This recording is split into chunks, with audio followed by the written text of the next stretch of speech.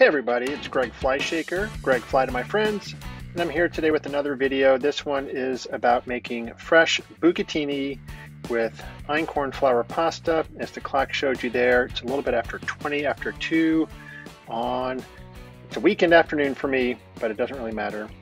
We'll see that I can make this bucatini in under 40 minutes, 45 minutes, give or take. And uh, as always, when I make this kind of video, I, I, start with everything put away just like I would um, if I weren't making a video. So got the mixer out and I scooped out two cups, barely, you know, not properly measured, but two cups of einkorn flour. And I got eight eggs out. And of the eight, I use two whole eggs and then six egg yolks. And you can keep the egg whites if you want, if you're going to do something with them. I set them aside for this. And uh, I did set aside a little bit extra flour just in case I was going to need it. So yeah, remember to raise your bowl there if you're trying to make pasta. So the two cups of flour, one glug of olive oil that I just put in there, and the eggs. And you just sort of have to match the amount of flour to the amount of eggs. So if your um, eggs are small or large, you have to take that into consideration. So I tried to show you right there by moving the camera. It's going to start out pretty shaggy. It's going to take a couple minutes for the moisture and the eggs to get through to all the flour. But the way I do this with the einkorn flour and this many egg yolks, I skip the rest in the refrigerator. I just keep it here, keep going. See, it cleaned the whole bowl out, and now I have really fresh uh, pasta. And what that take? 10 minutes or so. And now I'm going to get the attachment. So this is a uh, extruder from KitchenAid. It fits right onto the. I'm going to show you. Here you go. This is for bucatini. So you get different plates. I don't know if you can see it. It actually says it on there. Well, that's the inside. That's what it looks like getting pushed through. And then there are different plates for different kinds of noodles. This is the bucatini noodle, and it'll make 12 strands at a time.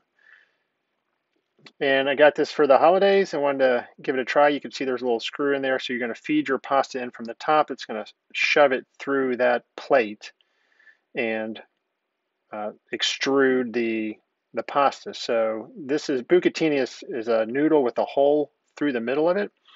So the idea is you make your pasta. You can't have it too wet. You can't have it too dry. It's got to be just right. Lucky for me, my basic fresh einkorn pasta recipe uh, seems to fit the bill. So I've done this since then with uh, fusilli. It also works just the same pasta recipe. So you cut it into small little pieces. Something they uh, they being KitchenAid suggests about walnut sized basically just needs to fit in that hopper at the top and then you shove it down. And um, if you read the instructions which i actually did this time i don't always um, they have different speeds suggested for different kinds of pasta so it depends what you're making. So for instance fusilli was i think you put it at three but for bucatini uh, you turn it all the way up to high. So whatever your, your KitchenAid is i think it's eight or maybe ten. And then you give it a good shove. The first one takes the longest because it's got to work all the way down that corkscrew or the drive shaft, whatever that's called. And then you can see it clearly um, coming out. And there's a little handle, like right in the middle of my belly, that you can cut the noodles with, like that. All right, so you just slice it off. And then, as I said, there's 12. There's, see, there's a hole right down the middle of it. So it's a, it's a much thicker, um, heavier noodle. And there are certainly certain recipes that call for bucatini as opposed to spag- spag- sorry, spaghetti or linguine or fettuccine or something. It's a very heavy, meaty, I don't know if meaty is the right word, hearty pasta. So I'm going to get 12 out of each cut. And basically, um, I don't know how long a bucatini noodle is supposed to be. I just went until it reached the counter or that silver, you know, the foot of the mixer and then I cut it and I just hang them up to dry. I wasn't going to cook dinner until a couple hours later, so I didn't want to just leave them hanging on the counter.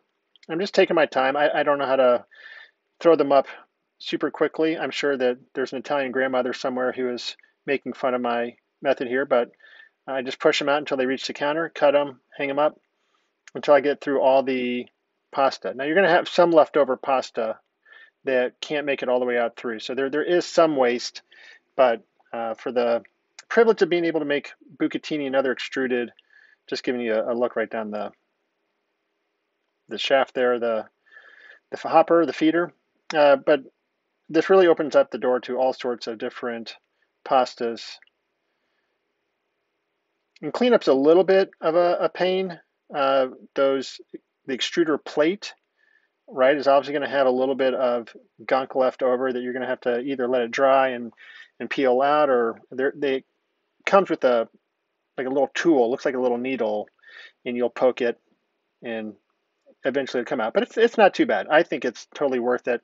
My biggest concern is that I wasn't going to be able to actually force the pasta through, and it, it goes through. At least this pasta recipe goes through quite nicely. So yeah, that's about it. Take it apart. They give you a little wrench. You'll see that there's a little bit left over. See, it's hard to get every little piece out because it needs the pressure from the pasta above it to push the pasta out below it. And at some point, there's no pasta above to shove it all the way through. And so you kind of run out of downward pressure to force the extruder through. So I'm really trying to, you can see the tool I just moved there. I'm really trying to get the most out of it. I think I'll get a couple half noodles left. They're hard to see through. There we go. So a couple more little half noodles. I think that's about the best you're going to do as you get to the end. You could always do a double recipe or however much pasta you want to go. And it's three o'clock, so I did. I made the fresh pasta and pressed the bucatini in less than 40 minutes. And there you go. That's just a picture of hanging up and drying. A little bit left over at the end. And then here's a picture of a meal I made with the bucatini. So thanks for following along. If you have any questions, visit me on my blog and I'll see you there.